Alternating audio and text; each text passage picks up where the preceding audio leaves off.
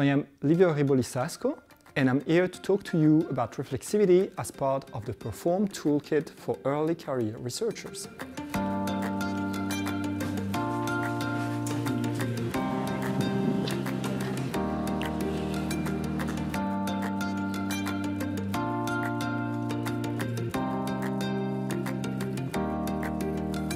So I'll start by uh, stating that science is not neutral. By saying it's not neutral, I mean that science and scientific communities uh, have very important values. These values have been uh, defined, for example, by Robert Merton in 1942 as communism, universalism, disinterestedness, and organized skepticism. These values are quite close to the values that are, are key for our modern Western democracies. This set of values uh, is, is, is, not something that is a given, but that has been uh, reinforced by scientists uh, over the course of the development of science. It's also important to see that uh, the absence of neutrality um, is coherent with an attempt of every scientist to be objective. The values are about the way we relate to each other as scientists and the way we relate to uh, this activity where we try to, to build up knowledge. To, to make clear that, that uh, science has values, uh, an, an, example is, uh, for example, the development of Western universities in countries like Saudi Arabia. Uh, it has been debated whether Western universities could uh, open universities in a country where uh, values differ so much from the values we do have in Western Europe. Actually, scientists have been saying, well, that, but that's a great opportunity to have campuses, for example, where women are free to express themselves, uh, while it's not the case outside of the campus. But with this example, we clearly see that science, as it is done on, on a campus in Saudi Arabia, is incompatible because of its value with the values of the society, of the more wider society of Saudi Arabia. Science as a community has values, but also each of us, we have a very, uh, um, each of us have a different personality, a different life history. This makes uh, what we call our standpoint. This has been proposed uh, by feminist epistemology as a way to clarify the perspective with which we do science. So feminist epistemology is a branch of epistemology that is of the study of science that uh, questions the, the role, the presence of women in science, um, trying to propose that there would be a benefit in changing the way we, uh, we do science, if uh, the role of women was uh, more important and uh, recognized uh, for its importance while being a woman.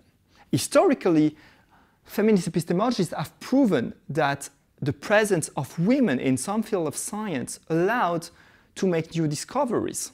For example, on the fertilization of an egg by a sperm.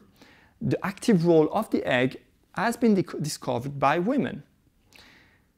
Previously, the knowledge was not wrong, it was just partial.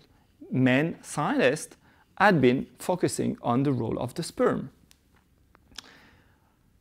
By clarifying our standpoint, we are more transparent about our approach, our way of questioning. This does not contradict the attempt of being objective. On the contrary, what is proposed by feminist epistemology is that clarification of standpoints allows to build a stronger objectivity. The idea is just let's see how different people contribute and uh, how uh, they can enrich the way we do science by bringing in a diversity of, of point of views. About your standpoint, our standpoint, it might be difficult to express it, to express it to our colleagues. There is no space to say our, to, to express our standpoint in scientific publication, for example. But I do invite each of us to, again, to discuss with colleagues and to try to clarify where we come from as individuals.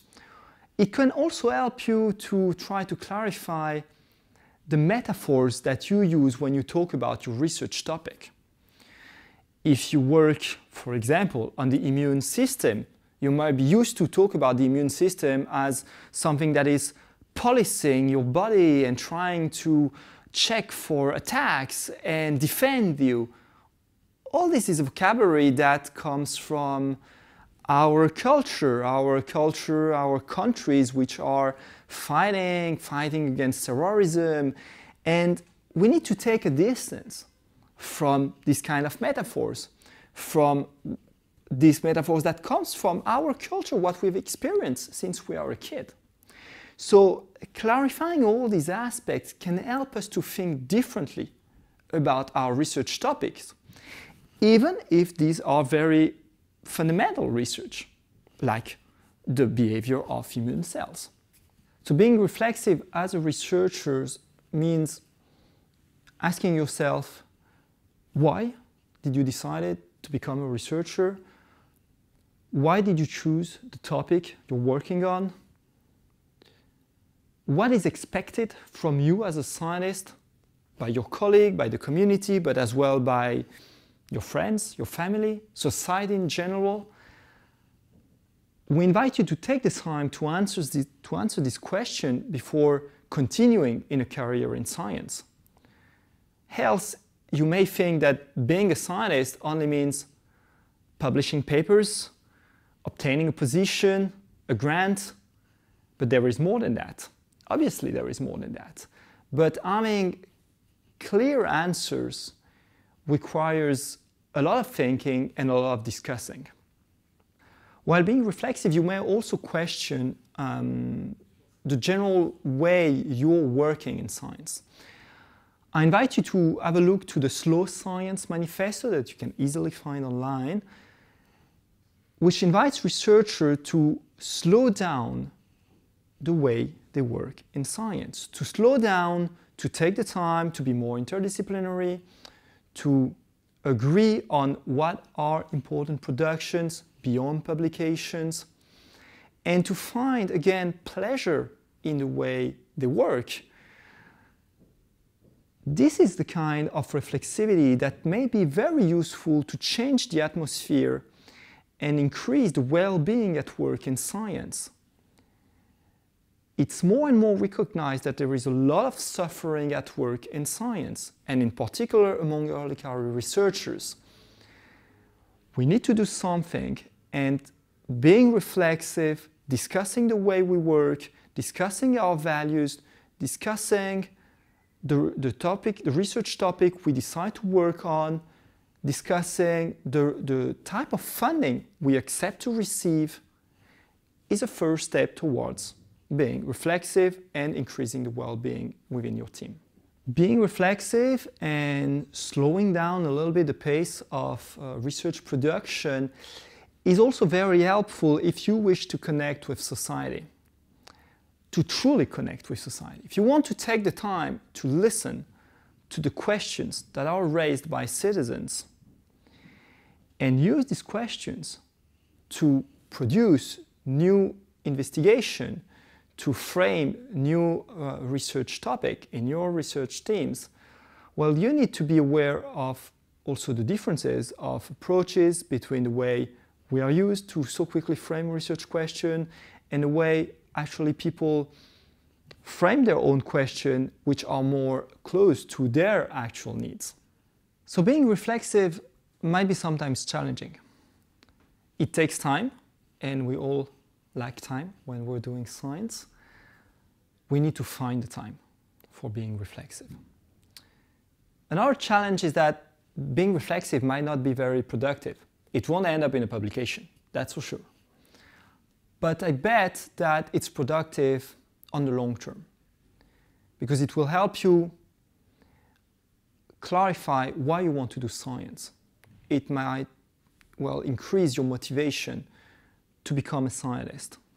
Being reflexive can also help you realize that uh, you might be privileged, as for example I am, as a man, white, from medium social class, parent, parents were scientists. While realizing your own privilege can help you take a distance and let also others come in and refrain from using your privilege to take a dominant position, for example, during a meeting where everyone is talking and maybe you're more at ease to talk and impose your words on others. So I think this is also a very important reflexivity that we need to have. We all need to work on our privileges and our um, disadvantages. First of all, I invite you to try to define what are the values, the local values of your disciplinary community, the community of your research topic. Try to see if these values are actually implemented, and if not, what is preventing from implementing these values? And try to open a discussion about it with your colleagues. Second invitation is to try for you to define your standpoint. Are your gender, your identity, your personal history affects the way you do science, the topic you've chosen so far, and try to see how the identity of others, of your colleagues, might be also affecting them. Eventually, take action. Do a simple thing gather with a few colleagues and try to write a manifesto.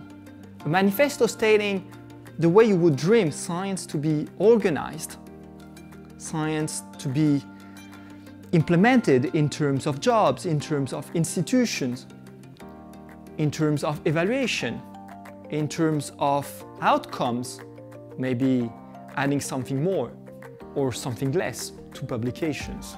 Write it, post it on a wall, and I'm sure there will be a lot of debate in your research team.